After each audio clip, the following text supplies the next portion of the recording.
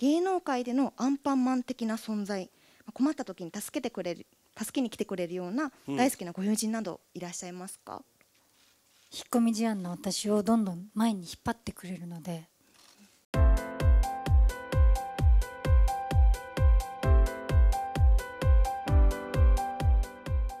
似てるとこ？うん。まあ可愛いもんねまずね。うん。まあまあまあそれは似似てますてるとこそうですね、ドキンちゃんが大好きなところですね。そこね。そうですね。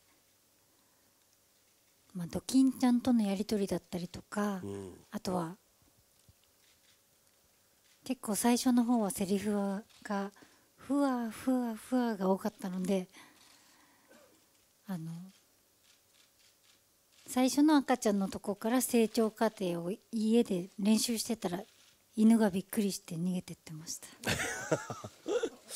あまりの成長の速さにね。ね犬もあこんなに成長するんだみたいなね。ありがとうございます、ねえ続いてまた深田さんへご質問なんですけれどあも、また深田さんですね。はい。あ全然いいんです全然いいんです。深田さんご自身にとってふわりーのようにこの人の存在によって自分が大きく成長できたなと思う方はいらっしゃいますか？はい私はあの犬を飼っているんですがその犬の名前もメロンパンナちゃんですし、あのすごくやっぱり犬との交流によってもう今13歳なんですけど犬のいる13年といなかった13年って違うなっていうふうにもっとちゃんと喜びとかっていうものを犬は一生懸命表現してくれるので、自分も嬉しい時だったりそういった時は人にきちんと伝えなきゃなっていうふうに学びました。うんありがとうございます、で山崎さん、えー。犬犬なんだね。うん。はい、人じゃなくてね。うん。はい、そうですね。人でしたでももうもね。でもいいんですよもう。人も犬も一緒ですからねそういう意味じゃ。